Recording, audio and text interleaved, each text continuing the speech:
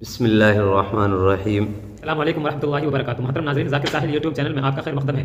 आपको आज हम एक इतला दे रहे हैं कि कल से इन अज़ीज़ माला बुद्धा का सबक मौलाना सलमान साहब पढ़ाते ही हैं पहले से मौलाना सबक तो हमने मशवरा किया कि क्यों ना ये सबक यूट्यूब चैनल पर भी अपलोड कर दिया जाए तो मौलाना अपने अंदाज में कल से नमाज़ की फ़सल से जैसा कि मौलाना अभी खुद बताएँगे कि तमीदी बातें खुद करेंगे मौलाना।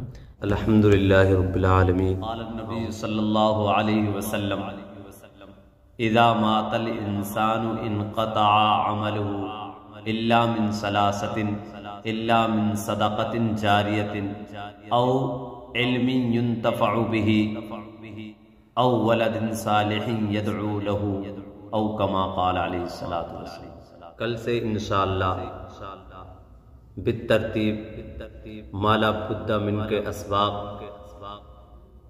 बाद नमाज़ इशा मुतसिलन आप लोगों के सामने इस्तीफादे के लिए तालीम ताल्लुम के तौर पर ज़िक्र किए जाएँगे या पढ़ाए जाएँगे ताकि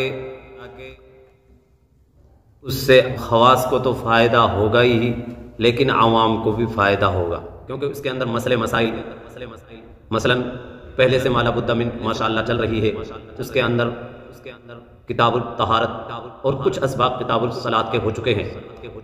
लेकिन हमने मशवरे में ये बात रखी है और मशवरे से ये बात तय हुई है कि अब किताब सलाद यानी फ़राइज़ या वाजिबात, इसी तरह नमाज़ के सुननो, नवाफिल वगैरह या मुस्तहबात उनको यूट्यूब या इंटरनेट पर बयान किया जाए ताकि लोगों को फ़ायदा हो। और ये एक ऐसा फ़ायदा है जो क़यामत तक जारी रहेगा।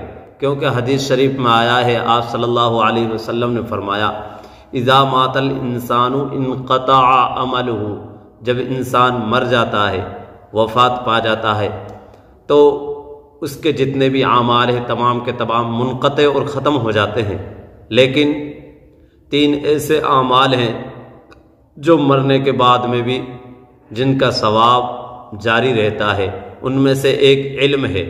यानी जो इंसान जिसने तालीम ताल्लुम किया और अपने शागिर्दों को या किसी बहाने से या किसी भी ज़रिए से दूसरों को इल्म पहुँचाया और वो अपने शागिर्दों को इसी तरह उसके, उसका सिलसिला और तरतीब जारी रहती है।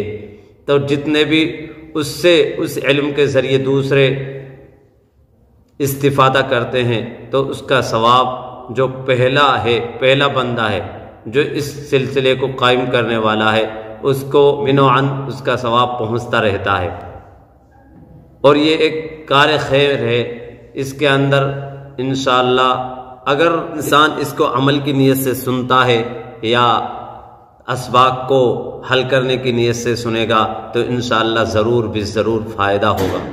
अब हम इस सिलसिले को आगे बढ़ाने के लिए और मशवरे में ये बात पाई है कि इस कार खैर को जाकिर साहिल यूट्यूब चैनल पर अंजाम दिया जाए, ताकि ज़्यादा से ज़्यादा आवाम और ख़वास इससे फ़ायदा हासिल करके अपने इल्म के अंदर बढ़ोतरी पैदा करें।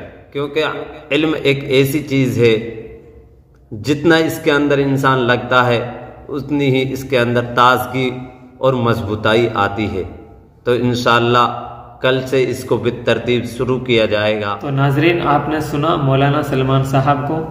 उन्होंने इसबाक शुरू करने के ताल्लुक से तमहीदी बातें आपके सामने पेश की। तो उम्मीद है हमारे दोस्त अहबाब इस वीडियो को अपने हल्का अहबाब में भी शेयर फरमाएँगे। और जो बच्चे अभी पढ़ रहे हैं वो इस लिहाज से इस नीयत के साथ सुनेंगे कि उनको इन इसबाब से फ़ायदा हासिल होगा। और ख़ास के अलावा आवाम तक भी ये वीडियो आप लोग शेयर फरमाएँगे कि इसमें आवाम का भी फ़ायदा होगा इन शाह वरहमल वर्क